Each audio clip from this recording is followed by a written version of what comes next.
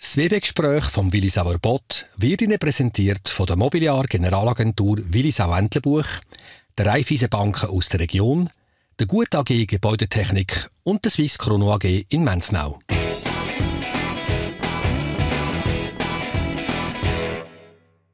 Liebe Zuschauerinnen und Zuschauer, herzlich willkommen zum WB-Gespräch, ähm, Monatsinterview vom Willisauer Bot. Unser heutiger Gast ist der Vinzenz Graf. Er ist kantonaler Feuerwehrinspektor und Chef vom kantonalen Führungsstab. In seiner Funktion hat er zahlreiche Brände, Katastrophen und Notlagen bewältigt. Ende Jahr wird er pensioniert. Herzlich willkommen, Vinzenz Graf. Grüße, Herr Weber. Ja, Vinzenz Graf, wir haben es gesagt, Sie gehen Ende Monat in Pension. Ähm, mit Freude oder hätten Sie gerne noch weitergemacht? Nein, ich gehe mit Freude in Pension. Selbstverständlich, ich habe meine Arbeit sehr gerne gemacht, oder? Und da ist natürlich ein Lachens und ein Tränens Auge dabei. Ich werde bis zum Schluss natürlich noch voll schaffen und mich engagieren. Es ist überhaupt nicht ein Auslaufen, sondern es ist wirklich noch so ein bisschen Endsport. Äh, aber ich kann auf eine wunderbare Zeit zurückblicken. Ich habe ganz Haufen Sachen dürfen machen, die mich, für mich sehr spannend, bereichernd und interessant sind. Und darum freue ich mich auch jetzt die Zeit nach nach dieser beruflichen äh, Erfahrung. Ich weiß es jetzt schon, dass ich einiges werde vermissen. Einiges wird vermissen jetzt äh, in der Pensionierung, insbesondere auch den äh, Kontakt zu vielen Leuten, die ich dürfen haben, den Austausch mit vielen Leuten, das werde ich dann sicher auch ein bisschen vermissen. Aber ich freue mich drauf, ja. Gut. Ihre Amtszeit fallen Katastrophen, Notfälle und Notlagen. Wir haben es gesagt, lässt sich eigentlich der Umgang mit so Krisen lässt sich den üben? Ja, selbstverständlich. Das tun wir äh, auch trainieren. Äh, wir sind jetzt da auch gerade da in einem Raum, wo wir da einen Feuerwehrkurs für Feuerwehroffizierinnen und Offiziere das trainieren. Wir haben letzte Woche drei Tage äh, geübt. Wir jetzt wieder drei Tage üben. Da tun wir mit verschiedensten Szenarien, äh, Unwetterereignisse, Grossbrände, Chemieunfälle und, und, und, tun wir äh, die Leute auf das auch entsprechend vorbereiten. Wir haben im Kanton Luzern schon seit Jahrzehnten wirklich ein gutes System, wie wir Führungsleute von der Feuerwehr auch auf das vorbereitet. Übrigens auch in Zusammenarbeit mit unseren Partnerorganisationen, vor allem der Polizei, im Rettungsdienst, aber auch der Leute, die im Bereich Naturgefahren, jetzt ganz neu auch mit dem Bereich Wald, mit dem Lava, wo wir auch das Thema Waldbrand aufnehmen. Und das ist wie eine mehrstufige Ausbildung. Äh, da jetzt, was wir da jetzt sehen, das ist Stufenoffizier. Dann tun wir haben wir ein sogenanntes Katastropheneinsatzleitersystem, wo wir zusammen auch mit den Partnern dann jedes Jahr auch trainieren. Wir machen einen Haufen grosse Übungen, auch wieder mit äh, Partnern. Das ist ja eine Stabsübung, aber es gibt auch Einsatzübungen. Und so versuchen wir uns möglichst vorzubereiten auf solche Einsätze. Und es ist äh, vor allem wichtig, dass wir das mit unseren Partnerorganisationen äh, machen und den Austausch pflegen äh, mit den Partnerorganisationen, das auch zusammen trainieren. Mhm.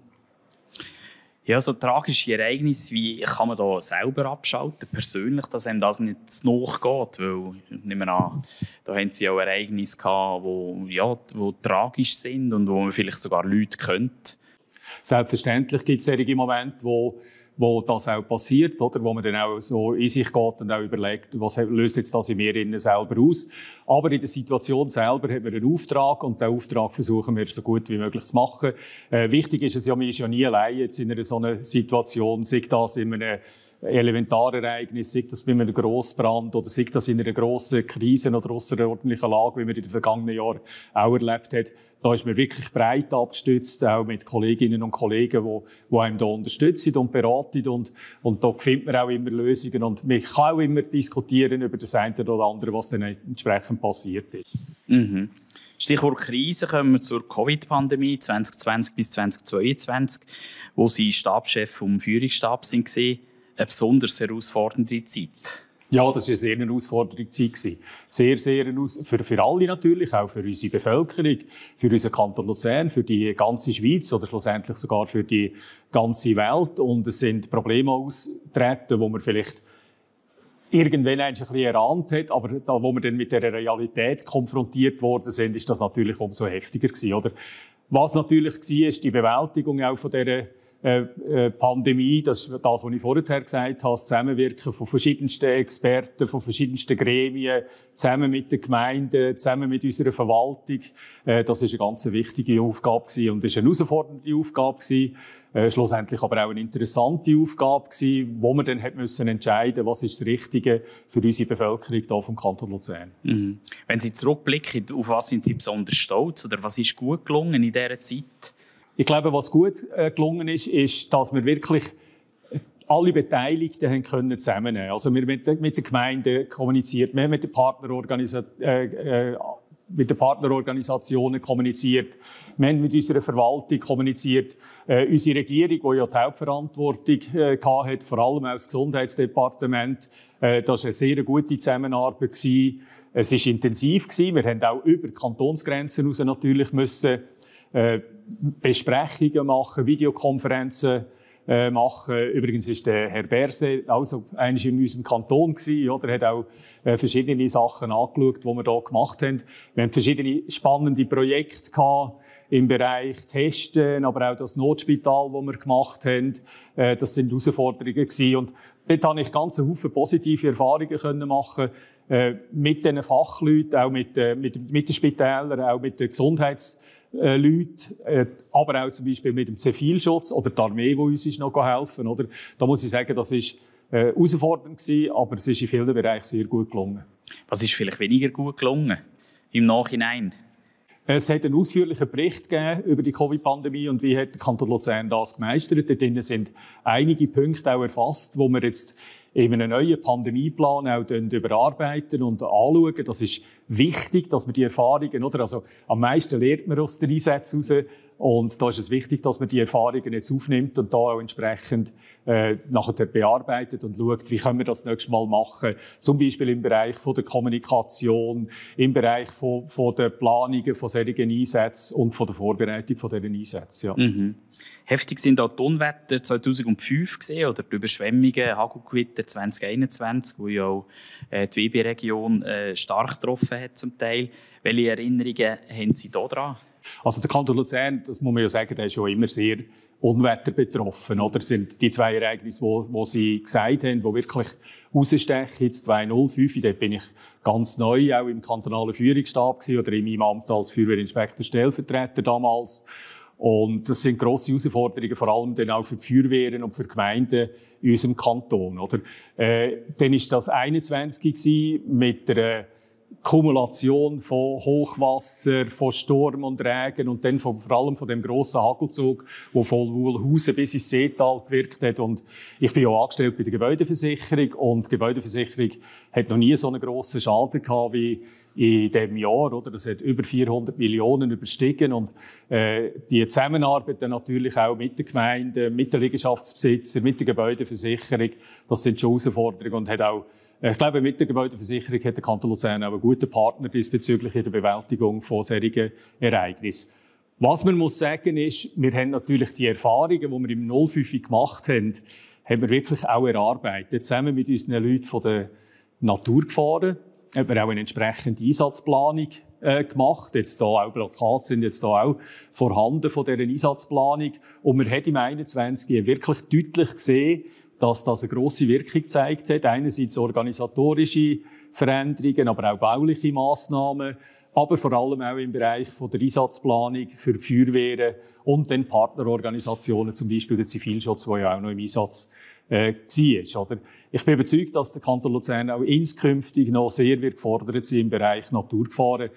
Insbesondere auch, wenn man jetzt ein bisschen Richtung Klimawandel schaut, oder? Und zum Beispiel jetzt auch die Trockenheit in den vergangenen Jahren noch aufnimmt, oder?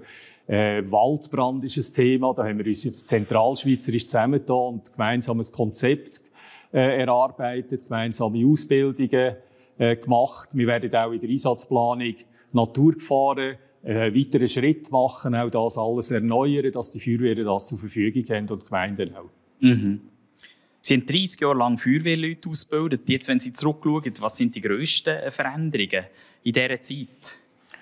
Es hat sich sehr viel verändert. Natürlich äh, technische Fragestellungen, oder, wo ob Feuerwehr gelangt äh, sind. Ich mache ein Beispiel wie alternative Treibstoff, Photovoltaikanlagen äh, und so weiter. Oder der Bereich Naturgefahren, den wir vorher besprochen haben. Da hat sich einiges verändert. Und die Feuerwehr ist dort immer sehr proaktiv. Wir schauen voraus. Wir versuchen uns parat zu machen für Neuerungen, die auf uns zukommen. Das ist ganz wichtig.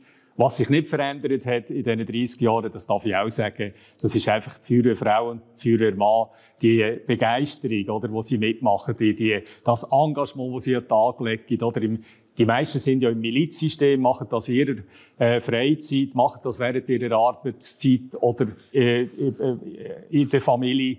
Und das ist wirklich hervorragend. Und da merke ich eigentlich keine Veränderung von 30 Jahren bis jetzt. Auch heute noch finden wir immer jedes Jahr wieder über 300 äh, junge Frauen und Männer, die begeistert den Dienst wieder auf sich nehmen.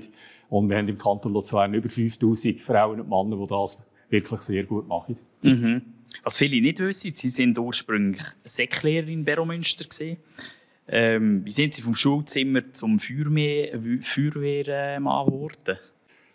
Ähm, als ich in Beromünster auf Schule gegeben habe, ist natürlich dann gleich die Frage gekommen, ja, du engagierst dich sicher auch noch anderweitig in unserer Gemeinde, oder? Und ein Thema war die Feuerwehr und da äh, bin ich sehr gerne dazu gegangen, oder? Habe dort wirklich tolle Leute kennengelernt, auch in dieser Gemeinde, äh, spannende Aufgaben bekommen. Äh, es sind natürlich dann andere Sachen noch dazugekommen in der Feuerwehr, die ich als Lehrer weniger hatte, eben zum Beispiel das Fahren mit diesen grossen Lastwagen oder mit diesen Maschinen, und das hat mir von Beginn weg Spass gemacht, und äh, da bin ich gleich natürlich so im Bereich Ausbildung reingekommen. Ich bin dann nebenamtlicher Feuerwehr Feuerwehrinstruktor geworden von der Gebäudeversicherung Luzern. Und 2003 habe ich eigentlich gerade 20 Jahre Schule gegeben. Ist das Thema gewesen, dass der Vorgänger von mir als Stellvertreter äh, in Pension gegangen ist und sich dann die Möglichkeit ergeben hat, äh, nachher der Einsteiger jetzt hier im Feuerwehrinspektorat. Und das hat mir sehr, sehr, sehr, sehr viel Spaß gemacht. Ich kann eigentlich auf auf ein Berufsleben zurück äh, schauen, wo zwei Abschnitte hatten, das als Lehrer und das als Feuerwehrinspektor. Und beides sind wirklich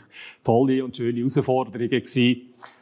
Ich habe übrigens, ich bin ein äh, passionierter äh, Methodiker, Didaktiker, das habe ich können von der Schule übernehmen, auch ins Feuerwehrwesen. Ich habe sehr viel bewegt jetzt im Bereich Ausbildung. Ich durfte mitschaffen bei Lehrmitteln, bei neuen Kursgestaltungen oder jetzt hier im äh, Feuerwehrinspektorat auch mit diesen Ausbildungskursen. Wir machen äh, rund 80 Kurse jedes Jahr mit über 3000 Kursteilnehmerinnen und Kursteilnehmern und das hat mir natürlich immer sehr Freude gemacht, muss ich sagen.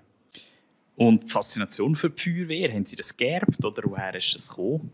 Nein, das habe ich nicht geerbt. Das hat sich äh, ergeben, als ich dann in der Feuerwehr äh, Beromünster mal eingetreten bin und nachher die verschiedenen Aufgaben bekommen habe, gemerkt habe, dass das Zusammenarbeiten im, im Team, äh, dann auch so die, die, die, dass die Möglichkeit, auch anderen Leuten können zu helfen, auf eine gute und positive Art, das hat mir sehr schnell dann, äh, ein Feuer entfacht für, für, für das Feuerwehrwesen und das habe ich auch äh, sehr gerne gehabt. Und ich habe übrigens ganze Haufen Freundschaften, die auch basieren jetzt auf, auf, de, auf dem Erlebnisbereich Feuerwehr.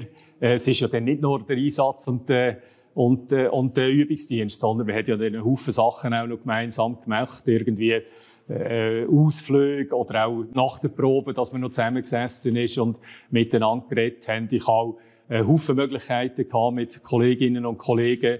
Äh, das, was ich in der Schule äh, geschafft habe, so ein bisschen, so ein bisschen der Transfer von der Schule ins Feuerwehrleben, das, das hat gut gepasst, ja. Mhm. Was kommt jetzt in der Pensionierung?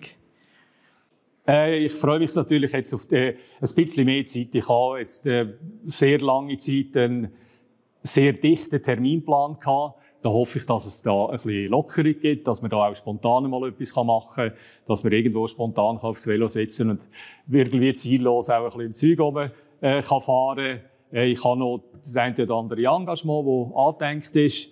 Und da, äh, es ist, äh, ich bin sehr gespannt auf die Zeit. Ich habe jetzt noch nicht zu viel geplant. Ich habe einen ganzen Haufen Interessen. Ich habe ja ursprünglich auch noch viel Musik gemacht. Da werde ich auch wieder ein bisschen einsteigen. Ich habe mit Schrecken festgestellt, dass ich eine Terminkollision schon habe, eine erste. Ich habe an zwei äh, gesagt, ja, ich habe nächstes Jahr nichts, das geht an dem Termin. Und als ich dort die Agenda hineingeschaut habe, habe ich schon zwei Termine am gleichen Ort gehabt. Also, äh, ich hoffe, dass das nicht äh, Normalität wird, sondern dass ich wirklich ein bisschen mehr Freiheit habe und äh, das auch mit meinen äh, Partnerinnen, mit meinen Freunden und, und Freundinnen auch kann entsprechend genießen. Gut, Vinzenz Graf, danke vielmals fürs Gespräch. Sehr gerne, Herr Weber. Schönen Tag, merci. Liebe Zuschauerinnen und Zuschauer, das war es, unser äh, aktuelles WB-Gespräch. Danke für die Aufmerksamkeit. Ich hoffe, Sie sind beim nächsten Mal äh, wieder dabei. Bis dann wünsche ich eine schöne Adventszeit und schöne Festtage. Das WB-Gespräch von Willisauer Bot ist Ihnen präsentiert worden von der Mobiliar Generalagentur Willisau Entlebuch, der Raiffeisen Banken aus der Region, der Gut AG Gebäudetechnik und der Swiss Chrono AG in Menznau.